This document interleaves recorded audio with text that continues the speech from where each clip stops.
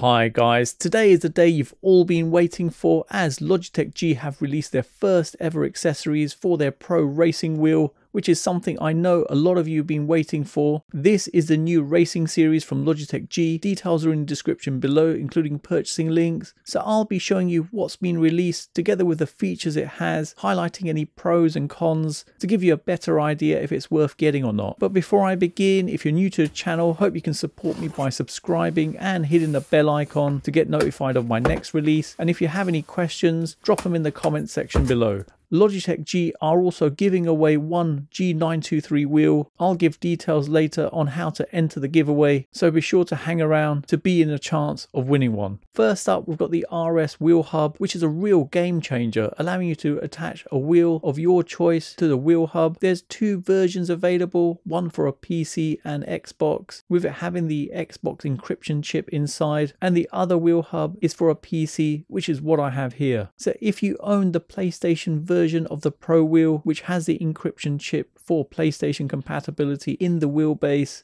Attaching the PC and Xbox wheel hub will provide compatibility for all three platforms, so for a PC, Xbox, and PlayStation opening up the box inside some bolts, an Allen key, some stickers, some documentation, and RS wheel hub. Logitech G have introduced two new wheel offerings which can be mounted on the wheel hub. So there's the RS track wheel and the RS round wheel, which is what we have here. Opening up the box, inside you have the RS round wheel and some documentation. And finally, we have the RS shifter and handbrake, which doubles up as a sequential shifter and handbrake. Opening up the box, inside you have the handle, a piece of paper with the G-Hub firmware details, a table clamp, the base of the drifter, some documentation, and a bag containing an Allen key and four bolts. Taking a closer look at the RS wheel hub, it's made from strong plastic with buttons on the front that are similar to the Pro Racing GT D-Rim but with a few subtle changes. Like the orientation on the right dial has changed, it now points to the side instead of pointing towards you, providing easy adjustability with the tips of your fingers. There's also a light sync rev counter at the top which is configurable and a single LED light at the bottom. Around the center you have six bolt holes used to attach the wheel rims together with an additional three holes, one on either side of the shifters and a third at the bottom which are secured from the back to keep the rim even more secure. Coming around the back you have your gear shifters but you no longer have the dual clutch paddles which come with the Pro Racing wheels. The gear shifters have a brushed metallic effect and are magnetic with a nice clicky sound when pressing down. They're adjustable, so you can adjust them by 12 millimeters to suit different wheel sizes by unscrewing the two screws and pushing the shifters in or out. You can also completely remove them by removing the screws and pulling the shifters away. You also have an integrated quick release system which has a friction free fit to fit the Pro wheelbase. Now onto the RS round wheel and taking a closer look, it measures 29 centimeters or 11.4 inches in diameter with a low carbon aluminium wheel rim and a silicon leather stitched all the way round with a white coloured centre marker at the top. You've got a G logo in the middle the build quality feels good with the edges nicely moulded round the aluminium spokes with the silicon leather stitched together on the inner part of the rim. There's no indents on the wheel as it's smooth all the way round making it perfect for rallying or drifting. Now attaching the RS round wheel to the hub is really easy. Place the wheel on top of the hub and slot it into position making sure the buttons on the right and left are inserted into the holes on the spokes. Then add all six bolts in the middle and screw them in using the Allen key provided. Next, turn it over and add the screws at the back of the hub. The first screw is attached at the bottom spoke and the other two are screwed in behind the shifters. And finally taking a look at the RS shifter and handbrake. It's encased in strong plastic. At the top you've got the G logo and below that you've got two holes where the handle would be screwed in. Use the top one if you are planning to use it as a handbrake and the bottom one with the blue rim around it would be used if you wanted to use it as a sequential shifter. And this is where you'd push the handle up or down to change gears which gives a clicky sound but you can't use it as a shifter and handbrake at the same time. It's one or the other. Looking at the handle with the rod and handle being metal but the top has a plastic cap together with the bottom part being plastic where you can unscrew the knob to increase the height of it from 18.5 centimeters to 23.5 centimeters.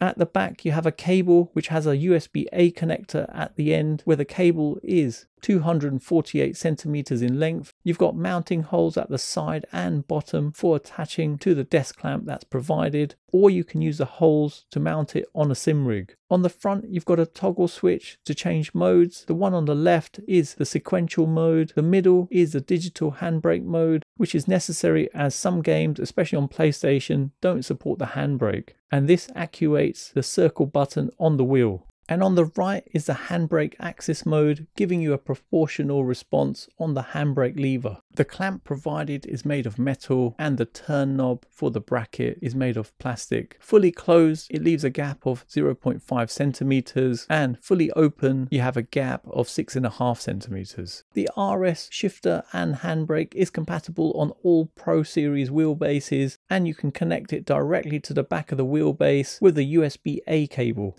for the entry level G series wheels, so the G923, G920 and the G29. To use it with the PlayStation or Xbox, you'd need to get the Logitech racing adapter, but with this you can only use one RS shifter and handbrake as connecting two is just not possible.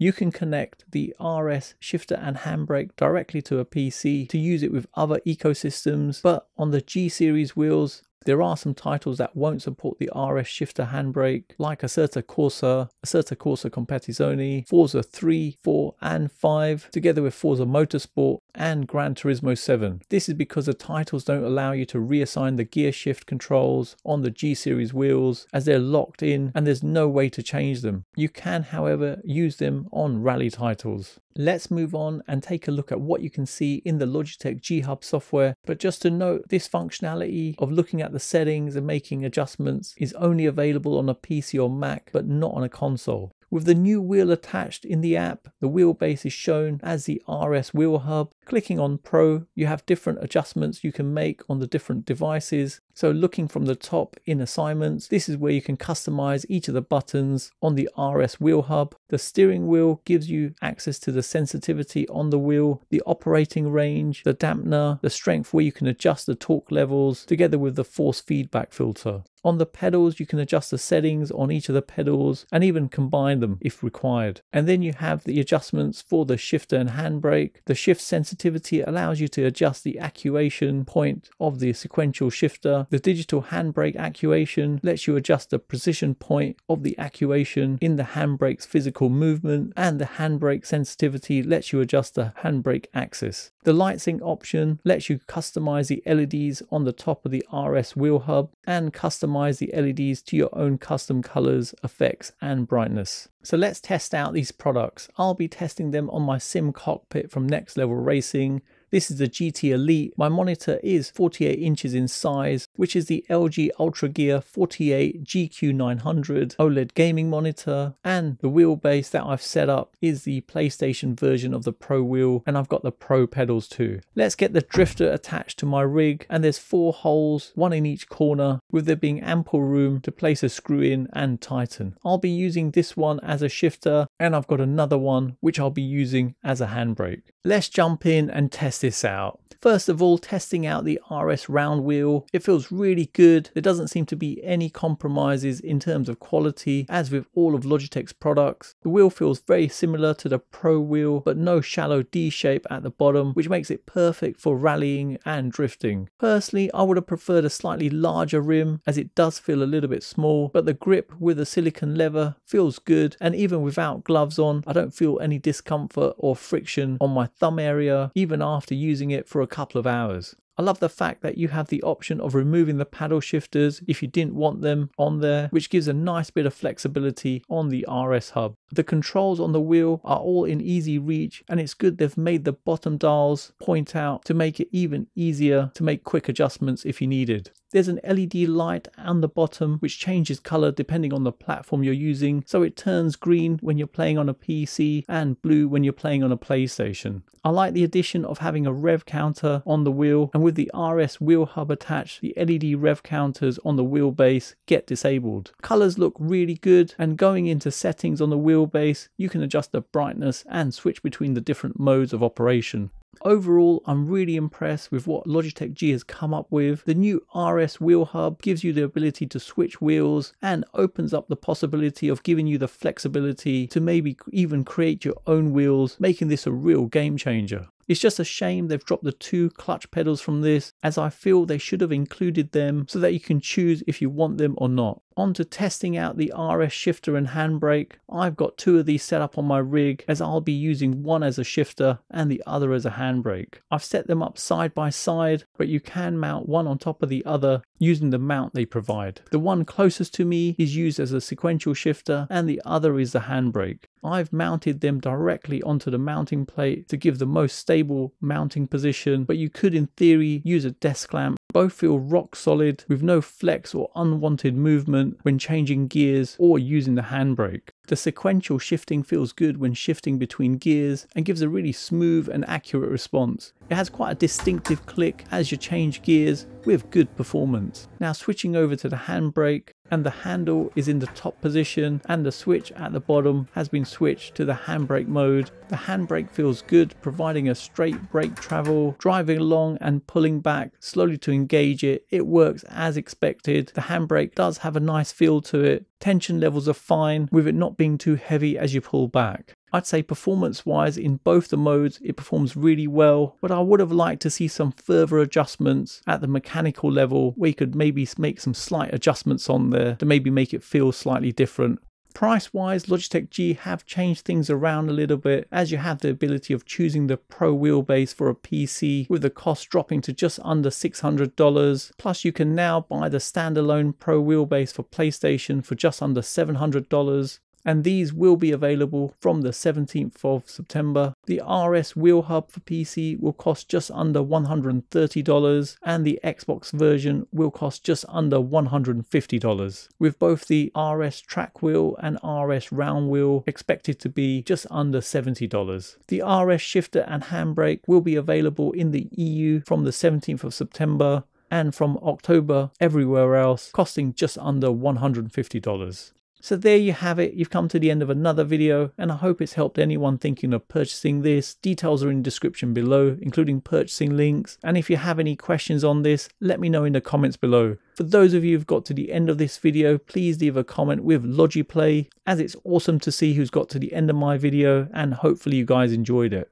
Now to be in with a chance of winning a Logitech G923, tell us which is your favorite Logitech G product the winner will be drawn at the end of September and the giveaway is only open for UK and Ireland. You can follow me on my socials. Don't forget to hit the like button, subscribe to the channel and turn on notifications to be notified of my next release. Thanks for viewing and see you in the next one.